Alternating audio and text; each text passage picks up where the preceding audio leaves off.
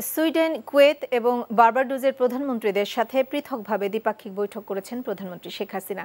মঙ্গলবার জাতিসংঘের সদর দফতরে সুইডেন ও কুয়েতের প্রধানমন্ত্রীদের সাথে দ্বিপাক্ষিক বৈঠকে অংশ নেন তিনি।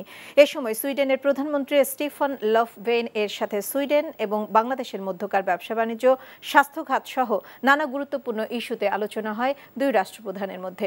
পরে কুয়েতের প্রধানমন্ত্রী Sheikh Sabah Khalid Al Hamad Al Sabah এর সাথে দ্বিপাক্ষিক বৈঠক করেন প্রধানমন্ত্রী শেখ হাসিনা। এ সময় কুয়েতের শ্রমবাজার, ব্যবসা বাণিজ্য সম্প্রসারণ, স্বাস্থ্য খাত সহ বিভিন্ন ইস্যুতে আলোচনা হয় দুই রাষ্ট্রপ্রধানের মধ্যে। এছাড়া তিনি বার্বাডোজের প্রধানমন্ত্রী মিয়া আমর মটলির সাথেও সৌজন্য সাক্ষাৎ করেন। প্রধানমন্ত্রী নিউ ইয়র্ক আবাসন স্থল লোটে প্যালেসে আয়োজিত বৈঠকে তারা এন্টি মাইক্রোবায়াল রেজিস্ট্যান্স নিয়ে আলোচনা করেন।